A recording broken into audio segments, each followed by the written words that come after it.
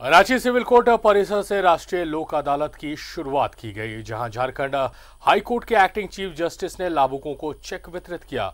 लोक अदालत के दौरान हज़ारों मामले का आपसी सहमति से निष्पादन किया गया। राष्ट्रीय लोक अदालत के दौरान कई खूबसूरत तस्वीरें देखने को मिली। कल तक जो भाई बहन अपनी पुश्तैनी ज़मीन के हिस्से के लिए आपस में लड़ झगड़ रहे थे, वही परिवार आज लोक अदालत में मध्यस्थता के द्वारा मामले के निष्पादन के बाद एक दूसरे के साथ खुशी खुशी घर गए। मामले के निष्पादन के बाद हाई कोर्ट के एक्टिंग चीफ जस्टिस के द्वारा सभी लाभुकों को 120 करोड़ रुपए का चेक सौंपा गया।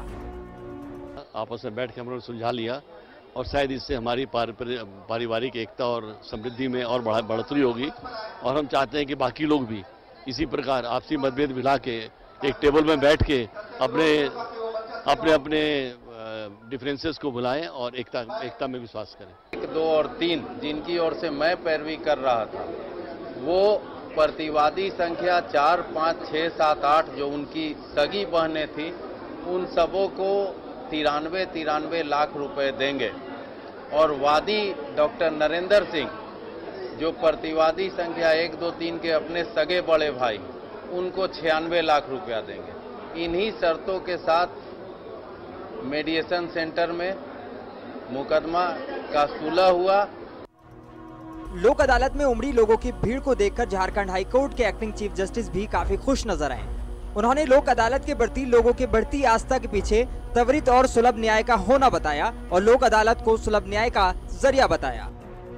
अदालत अपना कार्य बहुत अच्छे से कर रहा है और लोगों की अपेक्षाएँ भी बढ़ी हैं लोक अदालत पर।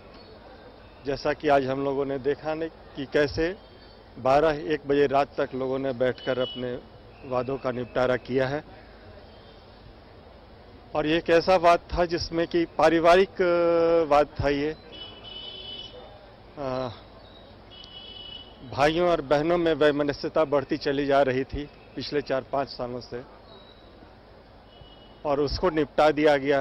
आप लोगों ने देखा होगा कि दोनों पक्ष जो कभी एक दूसरे की नज़रें नहीं मिलाते होंगे, आज कैसे आपस में मिलकर खुशी खुशी दोनों एक साथ आए हुए थे। लोक अदालत के दौरान हज़ारों लोग इसी तरह वर्षों से लंबित अपने मामलों को खत्म कर काफ़ी खुश नज़र आए।